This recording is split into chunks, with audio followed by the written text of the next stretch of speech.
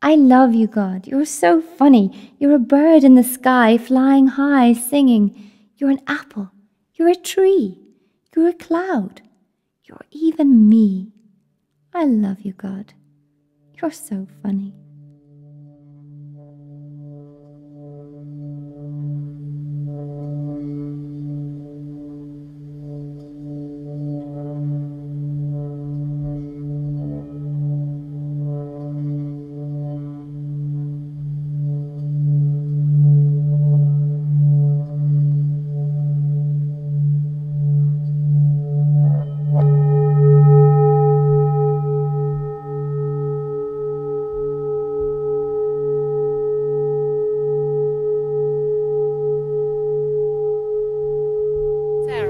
Sarah. What does the word God evoke in you in terms of feelings and thoughts?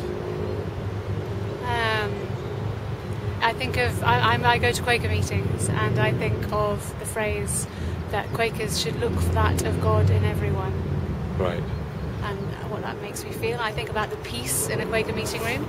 I also think about going to Catholic church when I was a kid because I was brought up Catholic. I went Right. to Catholic schools.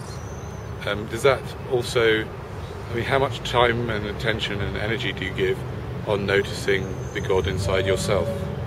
God inside myself. Um, not a great deal. Um, I think one tends to spend more time noticing the, the ways in which you're not like God.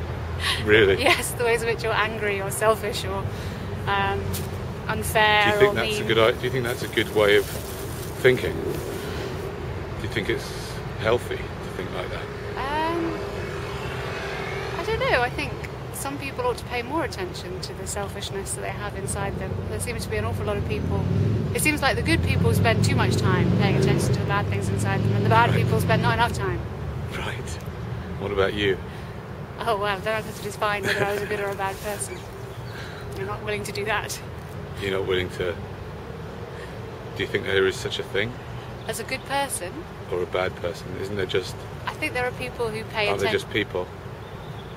There are people who, What do you think God? or What do you think God would say, as she looked down upon any person who you have labelled good or bad? I didn't say I went around labelling people as good or bad. No, you just label. There is a concept in your mind of good and bad people. It's okay. Don't worry. It's very normal. I'm just asking you whether you think God shares that concept.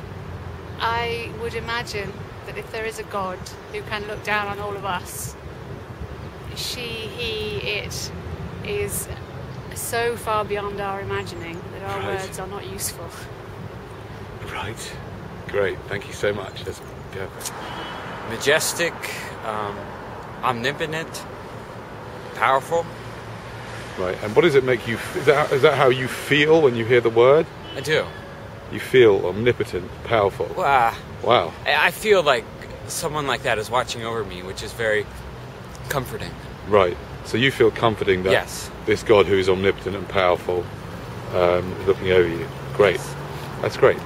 for me, um, one is for me one of the most important things, uh, and I think that uh, there are many many approaches. I am religious, and I am I believe that uh, somehow it we shouldn't look outside, but keep inside, and and that makes the unity in the human being. What What do you mean by keep inside? What do you Uh, by because you shouldn't look uh, after god outside or above the clouds, but look for uh, God in- inside yourself? yeah, Yeah. So you believe God resides inside you? yes. Yeah. Great. What, what, what does it bring up for you? Feelings. What does it feel like when you hear the word God? warmness, love, guidance. I think the most important is probably love. Love. God is teaching us to love. Right. Lovely. Thank you. What does the word God evoke in you? Um, What feelings and thoughts? Feelings. personally, and I believe there is a being, but I am an atheist myself. Now you you've really confused me. what, what, what does that mean? I believe that there is someone with powers, but I don't have. I don't believe in a person in called God per se. Right. But isn't that just uh, okay? What what what when the word God is uttered? Yeah. What do you feel? Does that make you feel? Do you, do you notice anything? Because some people, especially sort of, uh, sort of the more dogmatic atheists, might feel kind of angry or I don't feel angry. or I, I- negative in some way or I, don't have any form of emotion when I hear Right. the word. right. That's interesting. Okay, great. Thank you very much.